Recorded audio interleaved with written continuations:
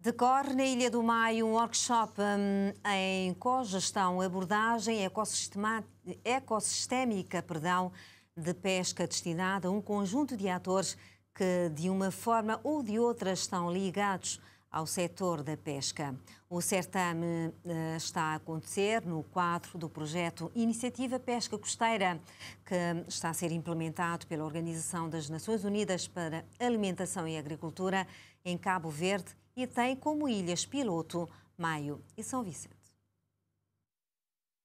No Maio, este workshop decorre no Salão Nobre Isaac Pinheiro e vai até o próximo dia 18.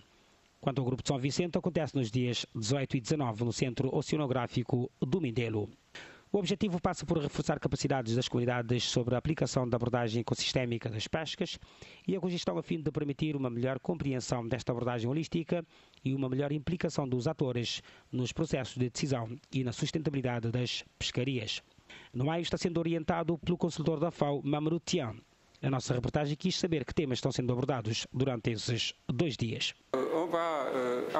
Aqui vamos abordar duas temáticas importantes para a geografia aliática. Há, em particular, a abordagem ecossistémica das pescas e a cogestão das pescas. A cogestão pode ser considerada como uma estratégia à parte para a aplicação da primeira abordagem e depois iremos dar ênfase à abordagem ecossistémica das pescas.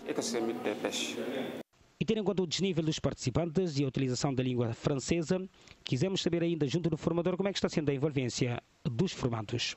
Ici, nous avons, euh, euh, disons, réuni euh, des participants qui n'ont pas le même niveau. Vous savez, quand vous faites la cogestion, il y a plusieurs parties prenantes. Donc, ce que le projet essaie de faire... Aqui reunimos participantes que não têm o mesmo nível. Ora, quando se faz a cogestão, existem vários stakeholders. Então, o que o projeto tentou fazer foi reunir todas as partes interessadas aqui, nomeadamente comunidade pescatória representada por pescadores, mulheres transformadoras e também vendedeiras de peixes. Mas também há ONGs que estão aqui, que apoiam o processo. Temos ainda a administração local, que está representada na DNPA e também no ambiente. É verdade que o nível não é o mesmo, mas são ferramentas educativas que a FAO desenvolveu para abordar praticamente todas as comunidades. Ou seja, qualquer nível que você tenha, você pode acompanhar o trabalho que estamos fazendo.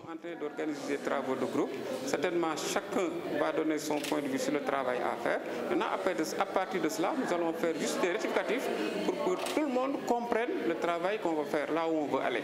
O projeto Iniciativa Pescas Costeiras Componente África Ocidental é um esforço global colaborativo financiado pelo Fundo Mundial para o Ambiente JEF, que reúne agências das Nações Unidas e organizações internacionais de desenvolvimento e está sendo desenvolvido em três países da África Ocidental.